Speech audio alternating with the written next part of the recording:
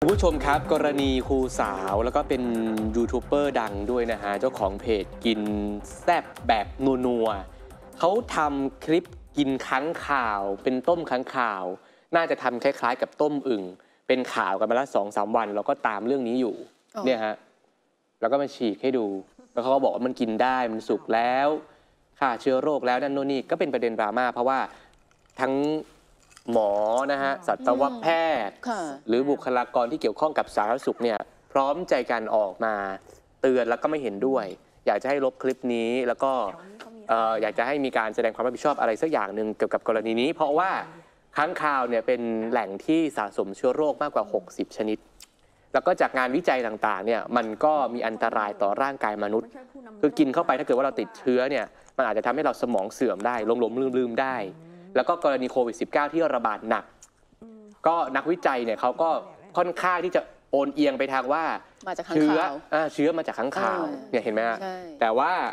ครูเนี่ยเป็นครูด้วยมันคนมันก็ด่าเนาะอืมเป็นถึงครูแล้วมาทำคลิปแบบนี้ได้ยังไงเนี่ยมันเกินไปไหมทำไมไม่คิดก่อน เมื่อคืนนี้เมื่อวานนี้นะคุณผู้ชมฮะตำรวจจับแล้ว ตำรวจเนี่ยไปจับแล้วก็ไปนั่งคุยกันที่สสพโพลนาแก้วจังหวัดสกลนครนะครับตำรวจเนี่ยแจ้งความผิดพรบคอม จะไปผิดพรบอยู่ 2 ตัวนะฮะก็คือผิดพรบคอม กับพรบสงวน และคุ้มครองสัตว์ป่า พศ 2562 ตามมาตรา 92อ่าแล้วก็มาตรา 17 ฐานครอบครองสัตว์ป่า คุ้มครอง พูดง่ายๆคือ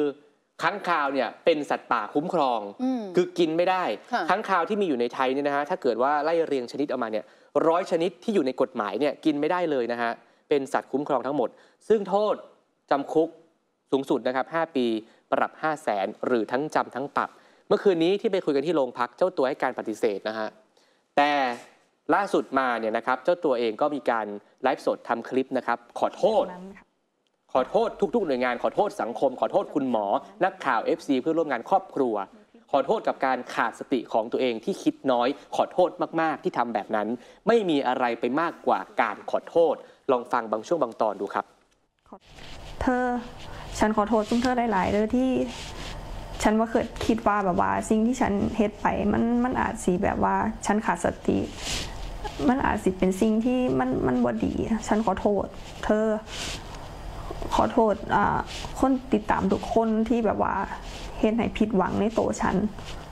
ฉันขอโทษหลายๆ ฉันขอโทษที่เฮ็ดให้ซุ่มเธอเสียความรู้สึก ในในสิ่งที่ฉันทำลงไป มันเป็นสิ่งที่แบบ อืม ขอโทษหลายๆเด้อเธอ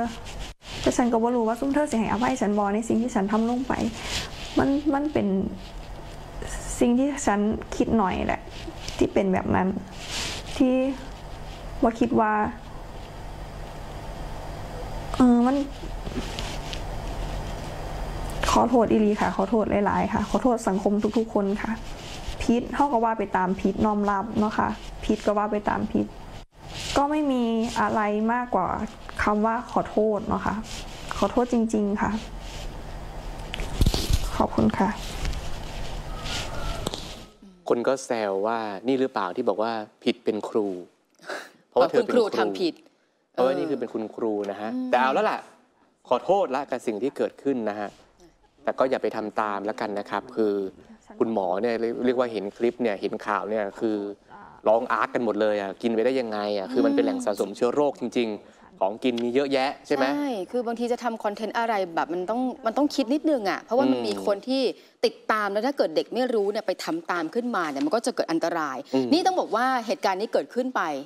แค่เมื่อวานนี้ใช่ไหมครับ ที่ออกมาไลฟ์ขอโทษ แต่ว่าเหตุการณ์อาจจะเกิดมาสัก2อสวันแล้ว ล่าสุดนี้นะคะ มีชุดปฏิบัติการทีมสุนัขดมกลิ่น ที่ท่าอากาศยานสุวรรณภูมิเขาก็จะมีสุนัขที่ดมกลิ่นเนี่ยแหละคอยไปตรวจสอบอยู่ ว่ามันจะมีเอ่อเรื่องของการเคลื่อนย้ายซากสัตว์ หรือว่าอืมสิ่งของต่างๆขาเข้าขาออกมาไหมโดยเฉพาะเที่ยวบินที่มาจากประเทศกลุ่มเสี่ยงโอ้โหเออมีมาเลเซีย มีกัมพูชาไต้หวันลาวเวียดนามจีนเนี่ยน้องสุนัขบีเกิลเนี่ยแหละก็อันไปนี้ไปดมกลิ่นสารวัตรบีเกิลสารวัตรบีเกิลอ๋ออืมเราต้องมียศให้เขาสารวัตรนี่บีเกิลไปดมดมๆกระเป๋าไปเจอกระเป๋าสัมภาระที่ต้องสงสัย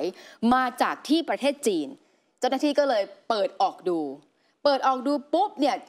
เจอหมู 3 ชั้น รมควัน 1 ถุงน้ำหนัก 4 กิโลกว่าอืมขาหมูรมควัน 1 ถุงน้ำหนัก 2 กิโลกว่าไม่เท่าไหร่ ไปเจอนี่ค่ะ ค้างคาวรมควัน 1 ถุงโอ้ค้างคาวเอ่อรมควันด้วยนะ เป็นเป็นซากค้างคาวเป็นซากค้างคาวรมควันมาละนะคะก็ถือว่าเป็นการลักลอบนำซากสัตว์เนี่ยเข้ามาเนี่ยไงแล้วเอาเข้ามาทำไมอะเออคือเอามากินเหรอนะเอามากับขาหมูลมควัน ใช่ เนี่ยคือใส่มาในถุงใส่ในกระเป๋ามาแบบนี้ เจ้าหน้าที่ก็บอกว่าเนี่ยมันผิดนะอุ๊ยเรื่องของการลักลอบนำซากสัตว์เข้ามาไอ้ตรงกลางตัวนั้นใหญ่น่าจะเป็นเหมือนกันนะค้างคาวใช่นะใช่อะตัวใหญ่อยู่ฮะเออ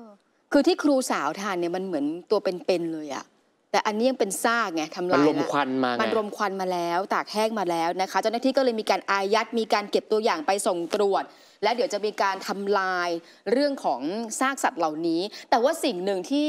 หลายคนกังวลนี่แหละค้างคาวเนี่ยมันนำมาซึ่งโรคไวรัสนิปา คือถ้าใครกินเข้าไปเนี่ยมันมีปัญหาเรื่องของทางเดินหายใจ